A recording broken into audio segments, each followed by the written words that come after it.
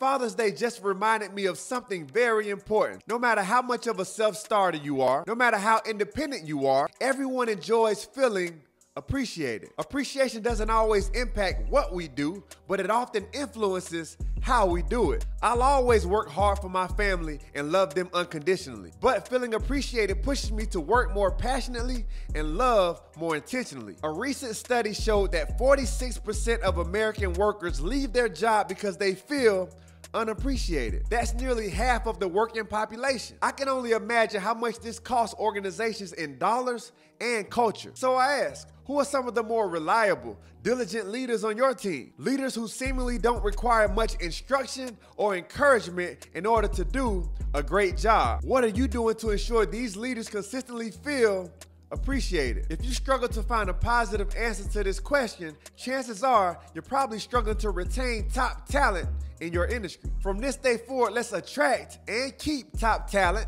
instead of subtracting. In our homes, in our work, and in our communities, let's all do our part to ensure that key members of our team consistently feel appreciated.